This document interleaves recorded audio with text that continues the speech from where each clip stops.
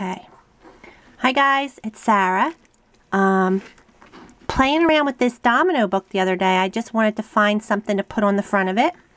And I came across these little owl charms that I had in my stash and thought, perfect, fits perfect. But he starts out like this. And I used my Copics to make him a little colored. And I wanted to show you guys in case you didn't know you could do that with your silver charms. He's so cute either way. But, um, so here's what I'm going to do. I'm going to just show you. I took just a few colors. Like this is apricot. And I'm going to do his little beak. Can you see where I am here? Maybe I'll zoom in a little.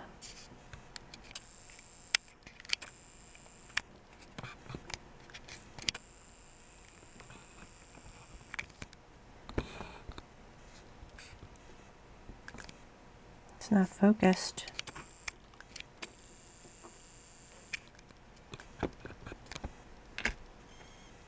There we go. So I just put this right on his little beak. It's, it's like shiny too, which is really pretty. So I got the orange. Now let me give him a little pink cheek. And you just gently touch it to the metal and it like takes on that color. This is light prawn. I might have to get a little darker pink. Oh no, it's showing up. I don't remember what colors I used on the other one. No, he's showing up. Okay. Oh, I love the green eyes. So this is really cute. So just touch it to the outside rim of the eye.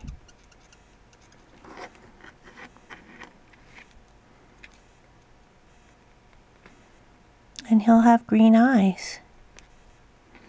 Or she. He or she. So just gently run the marker across the metal. he already has a face. So cute. And then I used the dark brown for this little stick down here. And that really takes it nice. Let's see. I guess I'll go under here too. and on the side and the top. This is burnt umber. Cute. And then, I think I just did his feathers like a, let's see. It's like a golden brown. This is um dark suntan. So let's see how this works.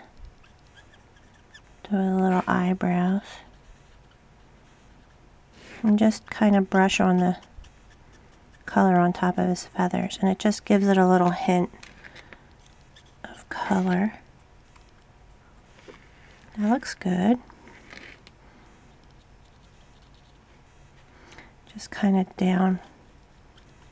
The feathers just like are sticking out so it catches the ink a little bit on his tail and then this wing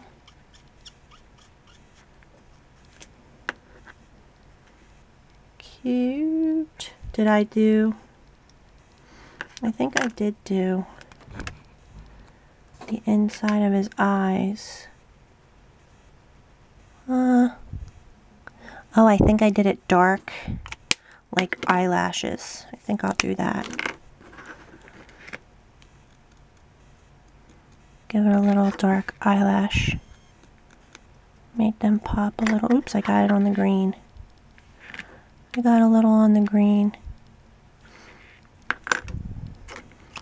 Try to go over it a little bit with the green just because it'll probably it got off. It came off. Alrighty. Maybe his cheeks aren't like pink enough. Let me see if I have a like, I'll just use the regular coral instead of lake coral. Oh, that's better. That pinked right up. Oh, so cute. So that's how you make them look colorful. Can you guys see that? Is my camera focusing? So cute. All right. That's it, guys. Thanks for watching.